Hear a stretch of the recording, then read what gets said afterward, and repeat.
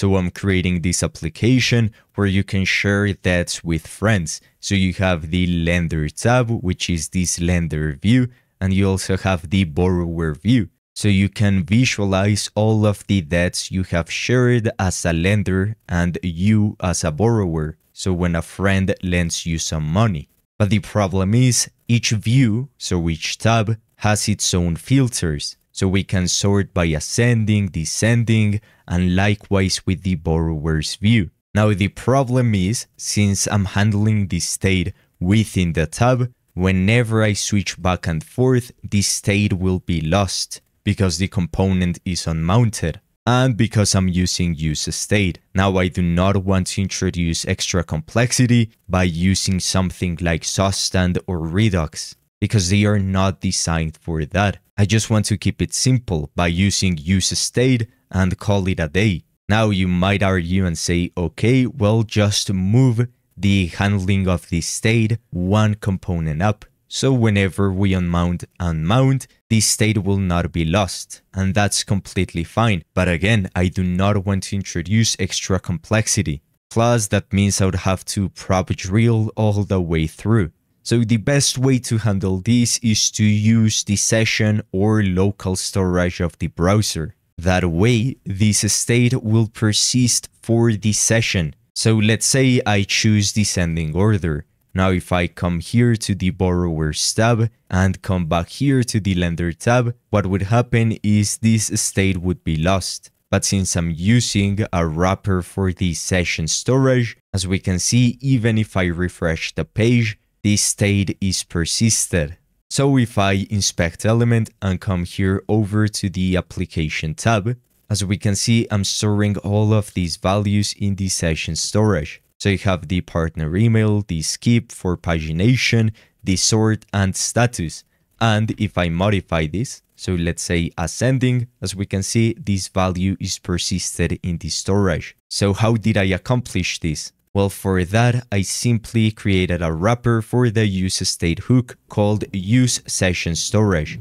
It simply returns the state and the set state, just like use state. And in fact, if I hover over set state, as we can see, it is just react.set state action. So let's take a look at its implementation. If I come here to use session storage, I have this create storage hook function and I pass in this to be session. So I can pass in either session or local. But now let's take a look at this function. As we can see, we have these arguments we have the key, so the identifier for the storage. In this case, well, I stored it with this key and with the value. Then we pass in the default values.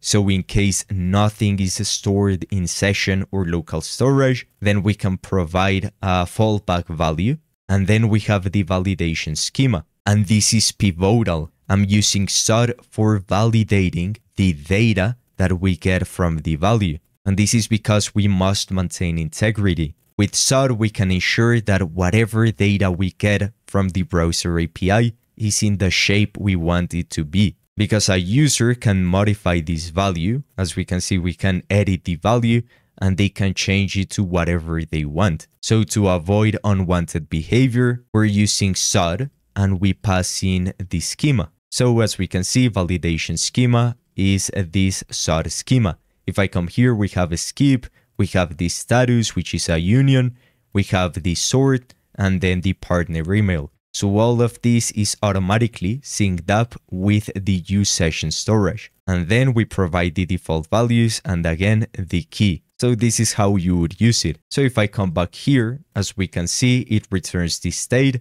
So of type T, we use generics and we make sure that the Zod type, so the Zod schema, corresponds with the default values. Then the set state, pretty basic, and then a reset function.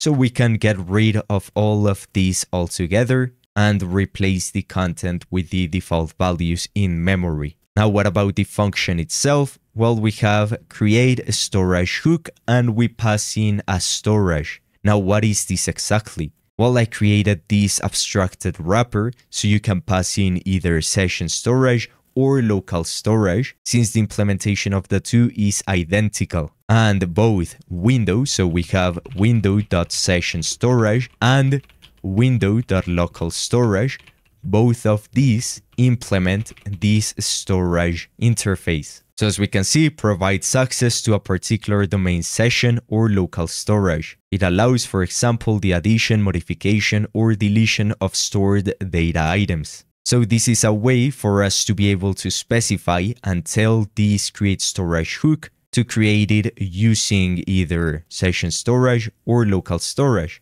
That way, we can create this use session storage as well as a use local storage and we simply pass in the storage we want to use. What about the implementation itself? Well, we have this stored value, so we get from this storage, again, either session or local storage, and we pass in the key, and then we let the initial data to be args.default value. Then we check if there's something stored in the session storage, so for example, in this case, we do have something stored, then try to parse and validate using the Zod schema. So we call .safeParse and then json.parse the stored value. So we make sure that the data we're dealing with must be of type T. And then this returns to us a discriminated union. That means that if I type in parsed that, we only get access to success, which is a boolean. Now, in the case this is true,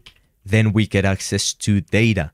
In the case that this is not success, we do not get access to the data property, but we get access to the error property. So we check if this is successful, so the schema validation is successful, then replace the initial data to the one stored. And if not, we do not do anything. So in the case this is invalid, we just use the default values provided here in this case where we have default values. So again, this is just a fallback in case there's no data in the session storage or the data stored is malformed, basically. Now, if I come back here, we have the state.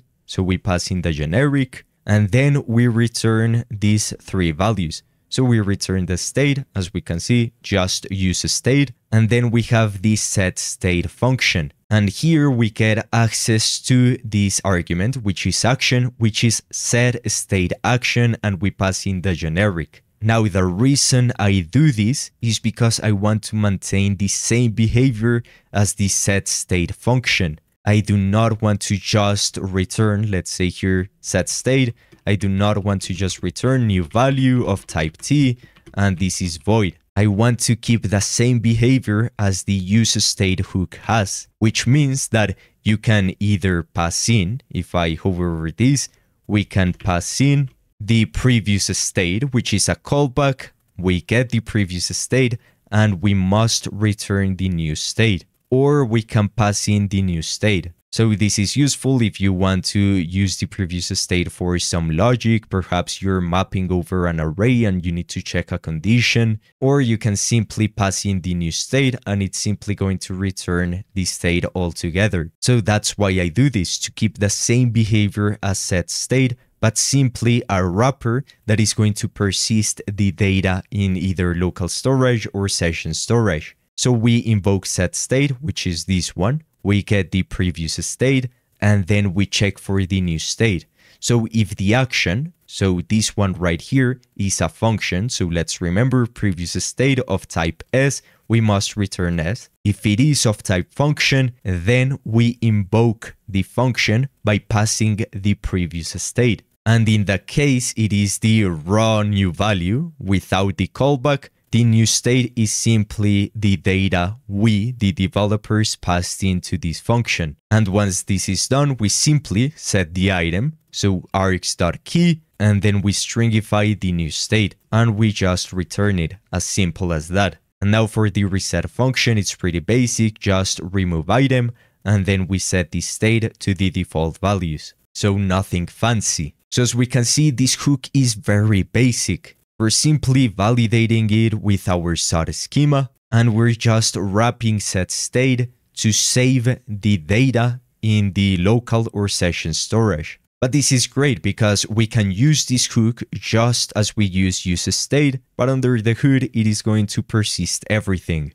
Now I can get rid of this, and if I come back here to the use local storage, for example, we have this function, get storage, and we pass in either local or session. Why am I doing this? Well, since I'm using Next.js, it is going to render everything initially in the server. So the problem is if I pass in the window.session storage, then window will not be present in the server, since window is an object that comes from the API of the browser. So I have to check if we're in the browser, then let us return the window.session storage or window.local storage. And in the case that we're not in the browser, that means that Next.js is server-side rendering this, then we simply return dummy storage. So we return everything that the session interface implements. So all of these functions which are present in both session storage and local storage.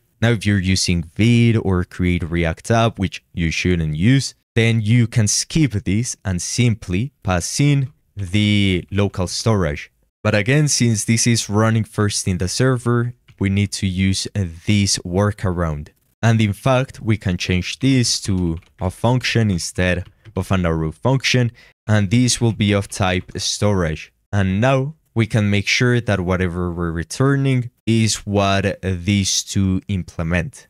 So now by invoking this create storage hook, it is returning a function, which is the hook. So use local storage use session storage, and then we can just come here and instead of use state, use session storage, we pass in the schema and we call it a day. Now my point is always use validation libraries for anything that is out of your control. For example, the browser API for local and session storage is not entirely in your control. The user can just come here and modify these if they want. So you should never assume that the data that you're storing is the data that you will be getting back. And this applies to anything, not just local and session storage, even servers, APIs that you do not have control over. So for anything that is out of your control, even the query parameters, you should create a custom hook, you provide a schema, and it abstracts everything for you. If you're not doing this in your applications, go ahead and refactor everything. You will thank me later. Having done this, this wraps up the video. I hope you learned something new, and if you want to see more content like this, make sure to subscribe. See you soon.